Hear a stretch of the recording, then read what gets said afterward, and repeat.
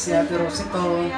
Ah, magluluto po ako ngayon para sa aming tanghalian ng bibi. Ayan po, pinadala na ako ng bibi ng aking mga kapatid kasi dumating yung aking mga pamangkin galing Pinas.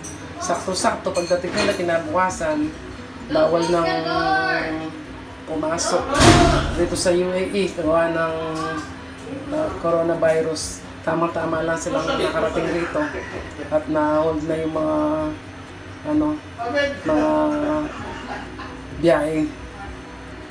Kaya ito, magluluto ako ngayon sa inyo ng uh, fried duck in Coca-Cola. Ayan po. First time kong gagamit ng Coca-Cola, dati kong ginagamit madalas, Sprite or 7-Up. Kaya ito ang ating gagawin. Pakukuluin po natin sa Coke. Siyempre magdadagdag tayo ng tubig.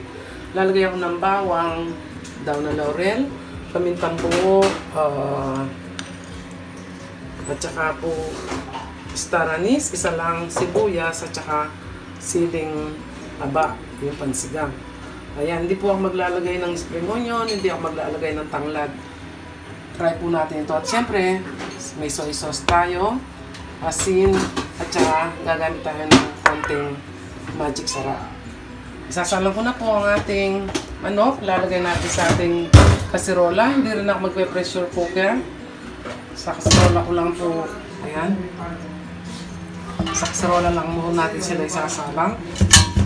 Para kumasya sila. Pagbabalik na rin natin. Ayan, tamang-tama. Tamang-tama po ngayon. Nilalagay na natin ang ating mga pasawok, ang ating sibuyas. Ayan. Bubusan natin lahat. Paminta, laurel, taranis at bawang. Ayan. Ganyan lang. Here, um, At lalagay po tayo ng soy sauce. Lalagay ko ng lahat ito. At siyempre, konting asin. Ayan. Huwag na natin biglayin ang asin or soy sauce. Ah, mas maganda na yung medyo tumatabang siya, pwede magdagdag. Isa naman maalat siya, mahirap solusyonan.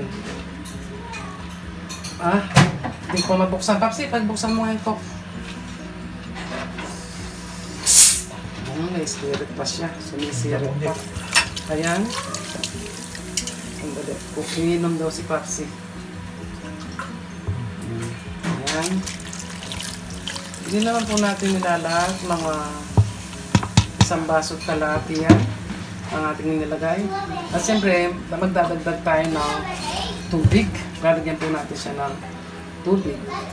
At ito, maglalagay po tayo ng konting magic syrup.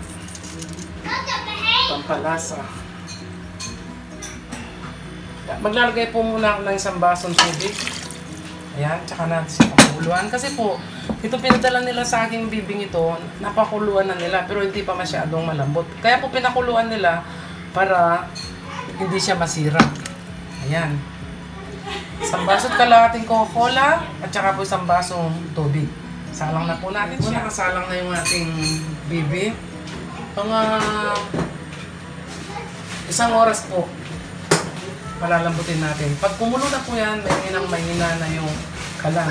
Kapag po nagpapalambot kayo, huwag niyo kakalimutan, kapag kumulo na, mahinang mahina ng kalan para po lumambot siya. Kasi pag malakas ang kalan, hindi nalalambutan yung karne, matutuyo ang kanyang sabi na po natin ang ating na. Babaligtad po natin siya. Ayan.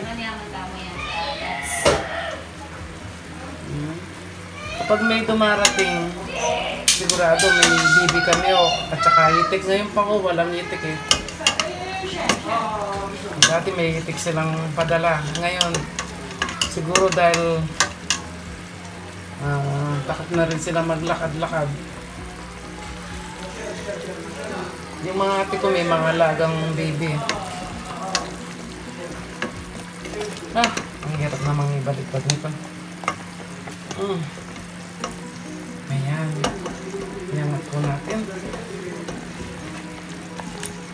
sakit ya bangun bangun punya.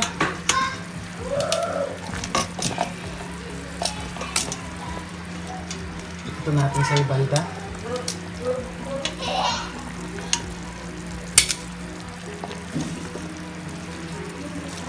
ayan nah.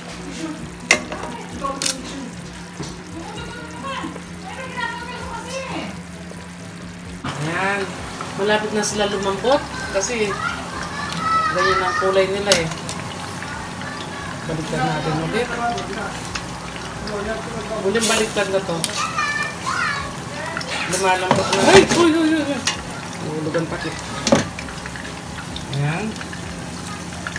Lumalambot na po siya.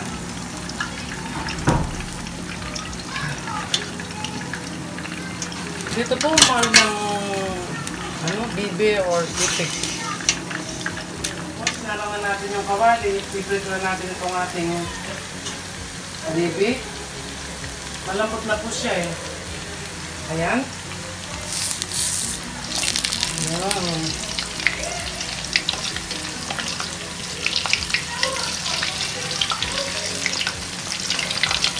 Nakabutag ko na po siya. Madali na lang pong lutuin kapag lutuin. Ay, pag malambot na siya. Kapag napakuluan na, lasing quarter na, madali na pong lutuin yan. Yun na yung ating isang bibe. Ayan, slice natin mamaya.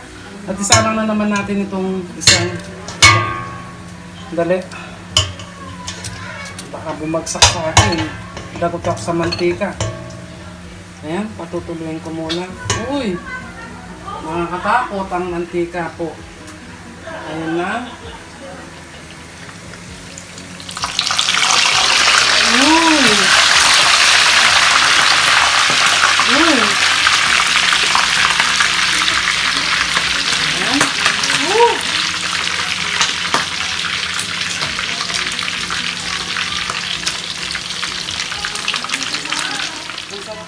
Sasalahan ko po itong sabaw. Ayan. Kaya ako luluto ulit.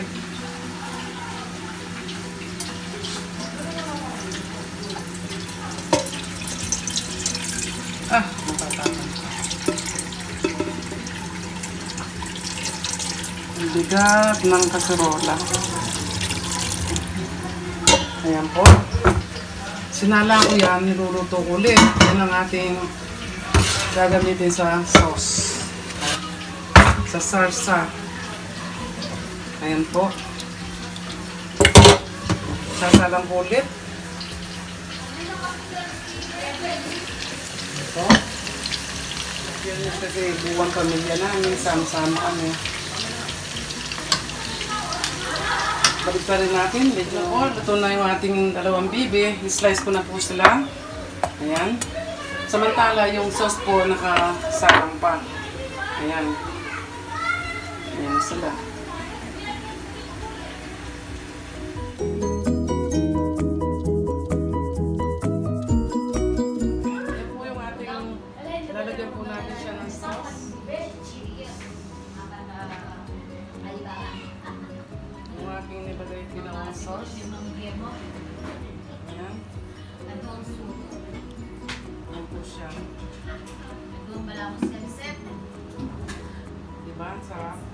head.